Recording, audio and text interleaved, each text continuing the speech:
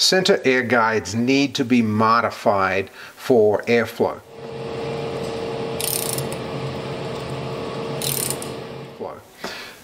This is our center air guide and these are end air guides. You can see the biggest difference is just these two pieces because they will go either side of a barrel.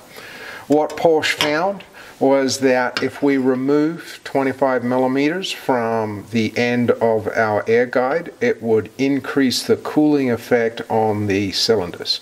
So to perform this modification, what we're going to do is we're going to take our calipers and I'm going to open my caliper up and set it to 25 millimeters.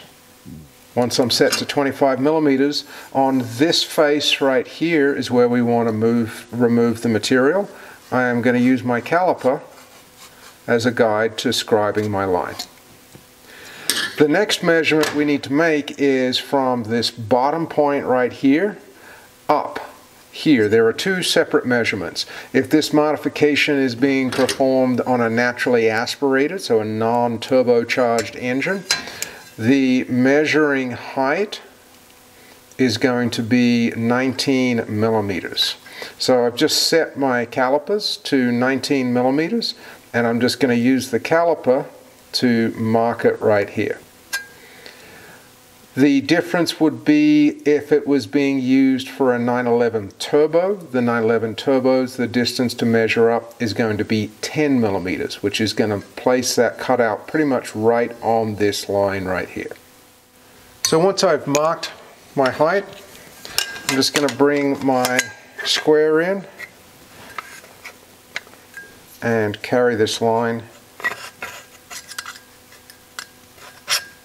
down. Once I've got my marks, I'm going to take a good pair of tin snips.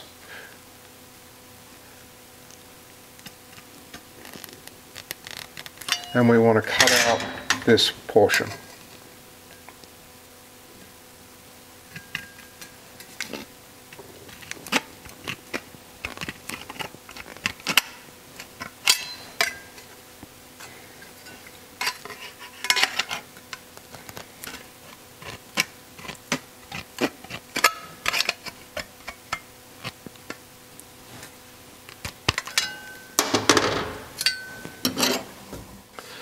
So the next thing I'm going to do is I just want to clean this edge up. I'm going to use my file.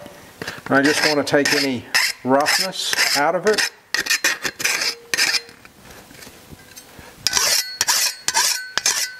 Now ideally we should do this before any parts are sent to powder coat or paint. But if they have already been sent to paint like these ones have,